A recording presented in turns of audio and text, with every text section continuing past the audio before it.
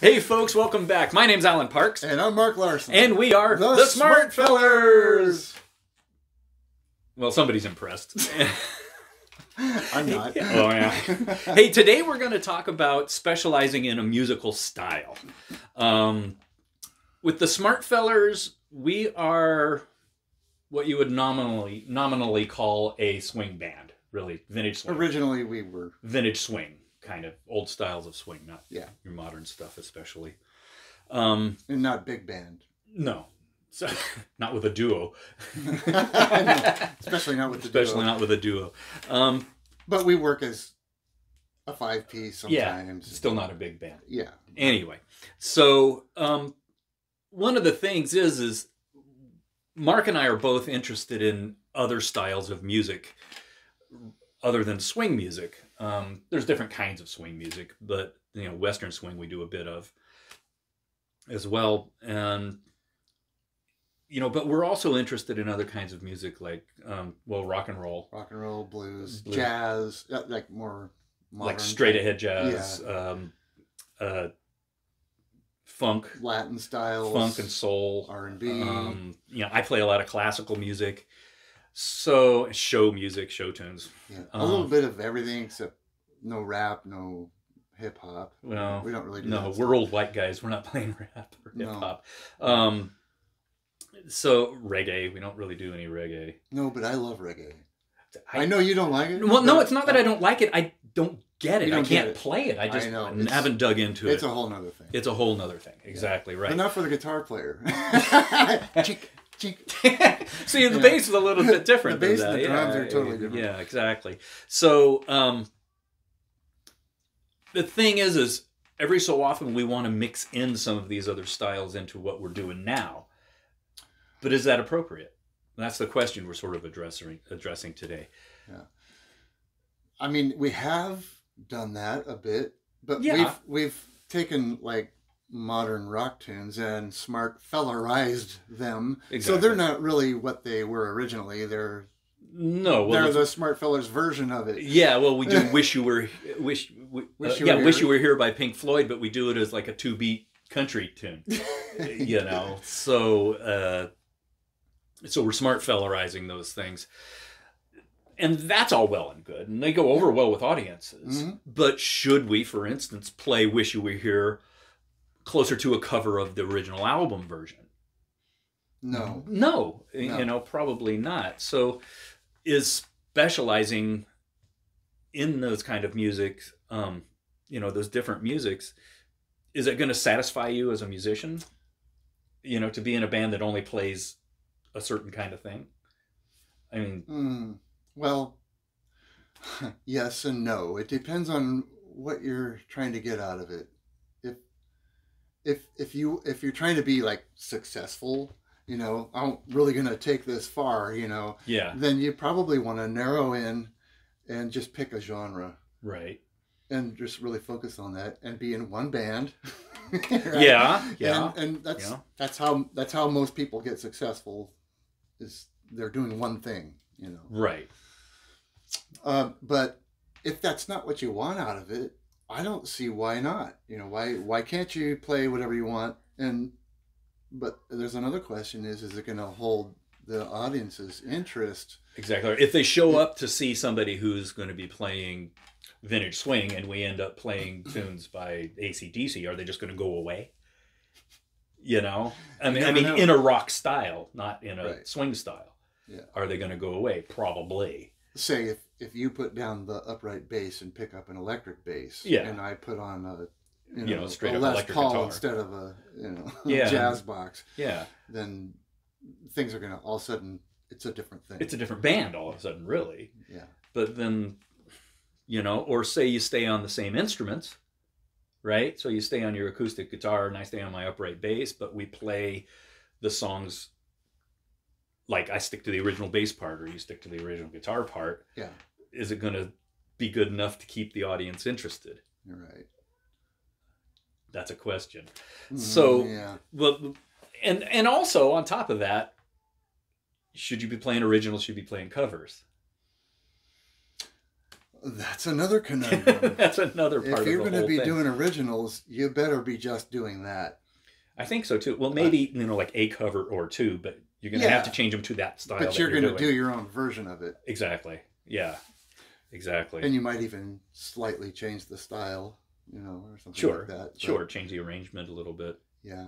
and um, But originals is a whole different thing. that's a whole nother animal. Yeah. Which we don't. We have a few originals, We have a couple, but not much. It's mostly covers, but not covers as in it sounds like the original artists or as close as we can get it. Covers insofar as somebody else wrote them. Right. Exactly. So, um, so I would think that success has different definitions for those two different kind of things. Success for an originals band to me would be, you know, a record deal or getting on some TV or film music or um, you know playing uh, Coachella festival or something like that Or touring. and worldwide. touring. On, yeah, exactly, selling albums. Yeah. Whereas for a cover band, what would be a measure of success for a cover Well, band? nobody wants to buy your album for one. Yeah, because they already have the original. yeah. Um, unless you're doing them so radically different, but even still, that tends to be more of a novelty Right. than anything else. My attitude with albums, um, for cover groups, like for the bands that you and I have been in mostly, um, and this one in particular, is I think of albums as more of a souvenir. If you go to see a band live, you like what they do, you want to take home a souvenir. Yeah, and also help support the band. Yeah. Because you're probably seeing them in a restaurant or a bar or Right. wine garden or something like that. So, hmm um, So you probably don't want to go uh, to a producer in a in a uh, professional studio to make that album. A you, record You want to make that in your garage. yeah, which is easy enough now. You know, it's it's certainly do, more doable than it ever has been in the past. Exactly. Um, but that's as far as you really have to go. I mean, if you want to spend some bread on a on a studio, go to a studio. Why not? If you have the money, Yeah, they've got the good gear. So, um, but success measured for a cover group. What would be a successful cover group? What would you? I mean, what level of success would you think? yeah, there's a lot of these tribute bands, you know. and Sure, they're playing- play for big crowds. They're playing big festivals all over the place. you Right. know. Yeah, big corporate events, But such then- as they are na- But then there you are. You're playing those same songs, that same style, over and over and over hmm hmm every gig. hmm Is that satisfying to you? It is to some people. Sure. Otherwise, they wouldn't be doing it. Yeah, I I'm mean, sure they're getting paid good. Yeah, know? yeah. Well, I mean, and also, you know, another level of success for some people, weekend warrior type players, hmm would be, you know, the hottest venue in town, you Yeah. know, which might be, you know, a little dive bar. Depends on the town. Sure. Like in in my town, there's only one bar. So is, is being successful here going to be no, playing that bar? no, I've done that. Yeah. That's not success. that was a long time ago. Yeah, yeah. But, Yeah. but I mean, if you lived in, say, you know, Oakland or San Francisco, then there's probably a lot more of that. Right. For in, in case you don't know, we're on the West Coast. We're in the North San Francisco Bay Area. Um, you know, so we're not getting to play out in New York City very often. We don't play in the city hardly ever. San Francisco, the city. The city, the Our the city. so, um, so levels of success would be different for different kinds of bands, even for what style of music would have different levels of success. For instance, a rockabilly band, okay, that plays covers. A level of success would be to play that big festival, Viva Las Vegas, in Las Vegas. Mhm.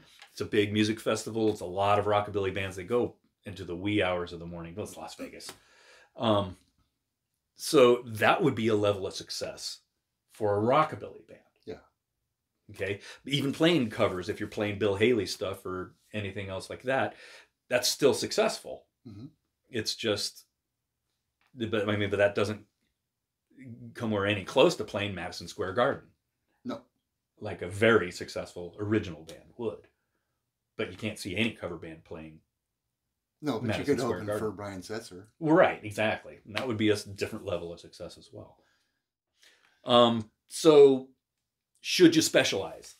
Let's get back to that. Should you specialize and how far can you go? Now, I've always been of of the opinion that probably depending on the exact style that if you play whatever songs you play if you've got a certain instrumentation then it's going to sound like that kind of music for instance we play in a band called the Maikai Gents and it's um, hawaiian music it's uh, kind of the Hapa Haole. right which is kind of tin pan alley um, hawaiian music not traditional native hawaiian music especially some of the tunes are Tin Pan Alley with a Hawaiian punch. yeah, that's right.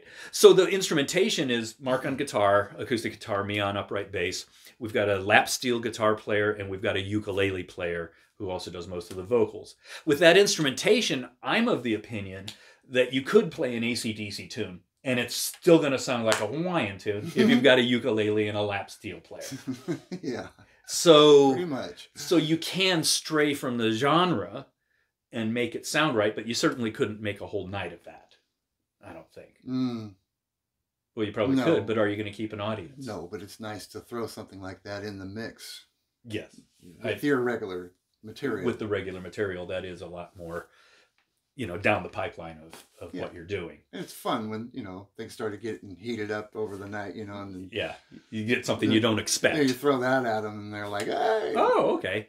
Yeah. But whenever we do something like that, for instance, in the Smart Fellers, we don't get more demands for that kind of music. It's like, oh, that was fun. Now back to what you were doing. yeah, Yeah, exactly. So, um, so should you specialize? I guess to wrap up, should you specialize? Yes, to a point, it just comes down to what you want out of it, and what your audience is responding. your to. level of success. You know, how far do you want to go with it? If if if if you don't want a lot of success, just do whatever you feel like. Yeah, exactly. but is your audience if your audience responds to your choices, yeah, then keep going. Do a- keep doing that. gauge. Yeah, it's a really good gauge. hmm um, friend of mine uh, from Melbourne, Australia, who he says that's how you develop your repertoire and how, how you know your songs are are working or not working because they were playing for um, playing in basically beer halls. Yeah. For the punters, The punters. the punters. That's what they call the audience. These are mostly beer drinking roughnecks, and they respond to certain songs and don't respond to other songs. Well, it's like keep doing the ones they respond to, get rid of the stuff that nobody's doing, which I suppose everybody does. To a point, if you're paying attention, you got to pay attention to that. Right.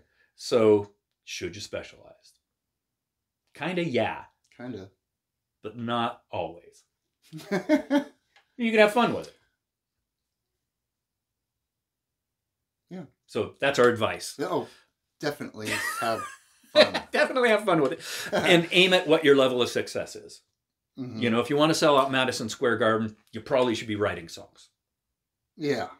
and getting a record deal and a producer and management and all of the hangers on and roadies and groupies and all that fun stuff. Yeah. Record deals.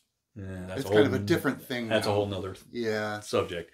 Boy, If you're the playing- industry really has changed over the years. but if you're playing in a cover band, what's that level of success? Of success? Are you going to be playing for big corporate events?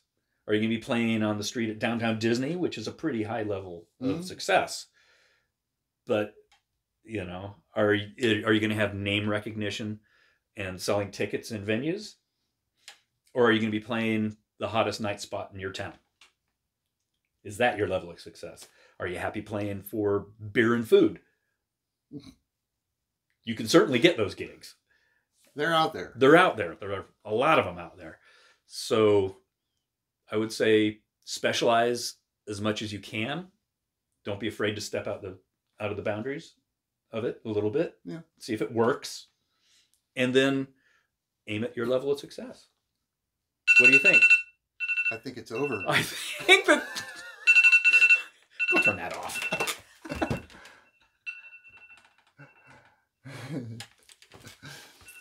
so Welcome to professional showbiz. okay, so but anything to add to that? Your phone hasn't stopped. Shut up. Is it off now? Well, it's not making any sound now. Okay, good. So, anything to add to that? I don't think so. It Don't seems like so? we've covered Yeah, yeah. Get out there and see what works. have fun. Yeah, it's supposed to be Have fun. fun. If you're not having fun, do something else. yeah. You're doing it wrong. Oh, do it wrong.